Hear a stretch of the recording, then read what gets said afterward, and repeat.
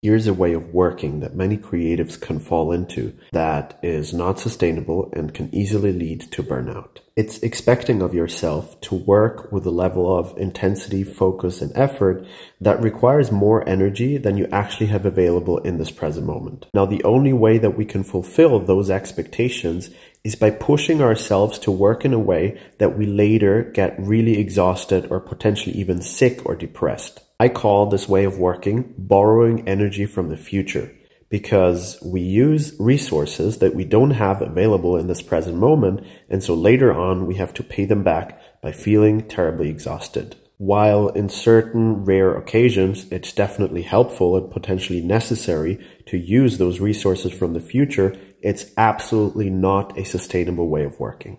Ironically, this way of working is ineffective because we pay for a couple of days of high productivity with a couple of days of very low productivity or even having to focus fully on rest and recovery. The much more effective, sustainable alternative that is also slightly more boring is to find a pace of working that you could walk forever because you're not burning more energy that you currently have available.